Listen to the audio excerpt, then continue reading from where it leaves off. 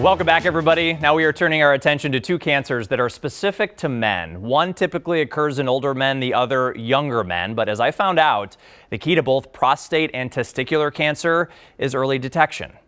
Yeah, prostate cancer is one of those problems that if you have symptoms, it's already too late to cure it. Dr. Lawrence O'Connor, a urologist with Health Partners, says about 210,000 men are diagnosed every year with prostate cancer. He says men should start getting screened every year once they hit 55. Those screenings should start at 45 for African American men and those with family history of prostate cancer. So, screening for prostate cancer occurs often at a family doctor's visit or perhaps with the urologist. It involves a physical examination and usually a blood test. He says that blood test, called a PSA test, comes back almost immediately and is how most prostate cancer is diagnosed, even if it is not detected on the physical exam. And here's the bladder with the prostate gland. The urine tube, the urethra, travels through the center of the prostate, and the meat of the prostate can form a cancer. And so, in this particular area, which you can feel through the rectum, uh, can form cancers, and those are usually palpable with a knot. Dr. O'Connor says as long as it's caught early, prostate cancer is very curable. He says 10 to 15 percent of people diagnosed die from it.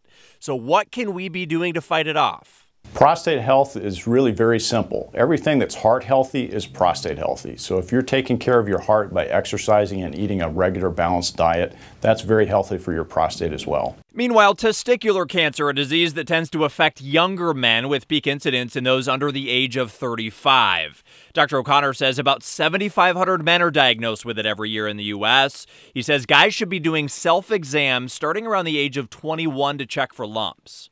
Testis cancer usually shows up as a rock hard knot or a marble that's in the meat of the testicle. If you have something like that that's new that you haven't noticed before, that's abnormal and you should have it looked at.